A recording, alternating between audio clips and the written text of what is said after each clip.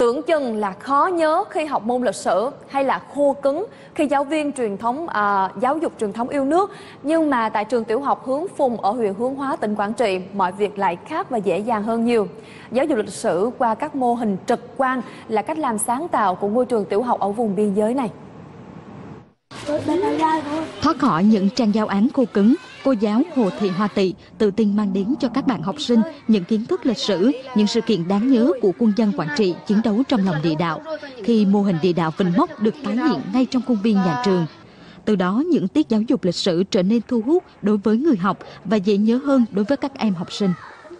À, em rất thích học lịch sử qua các mô hình này bởi vì nó làm cho em dễ nhớ và hiểu rõ những sự kiện lịch sử ngày xưa và đối với em nó rất bổ ích. Bắt đầu xây dựng từ năm 2014, đến nay, nhà trường đã xây dựng được 7 mô hình mô phỏng những dấu mốc, sự kiện lịch sử và truyền thống của quê hương đất nước.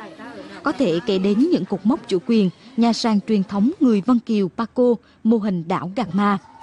Từ nguồn lực xã hội hóa cùng với sự dày công tâm huyết của tập thể nhà trường và các bạn học sinh, các mô hình này đã phát huy hiệu quả trong công tác dạy và học bộ môn lịch sử cho các em tại địa bàn biên giới này. Xuất phát từ ờ,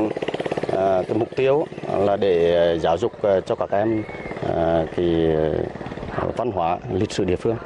à, đối với một cái địa ban giáo dục cũng khó như thế này. Cho nên à, chúng tôi quyết định à, chọn mô hình địa đạo Vĩnh Mốc để xây dựng cái công trình à, giáo dục ngoài khóa cho học sinh. Để thông qua những cái bài học trên lớp các em đi vào thực tế của cuộc sống ngay cạnh ừ, ngay cạnh của ngôi trường của chính mình. Qua đó các em có cái trải nghiệm có cái hiểu biết thêm về cái truyền thống đấu tranh của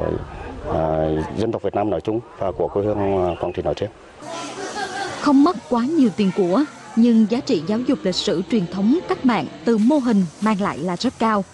Không chỉ góp phần đưa học sinh đến gần hơn với môn lịch sử, mà các công trình mô phỏng lại các di tích lịch sử còn tạo ra môi trường thân thiện, giúp các em có những buổi ngoại khóa bổ ích lý thú để với các em mỗi ngày đến trường là mỗi ngày vui.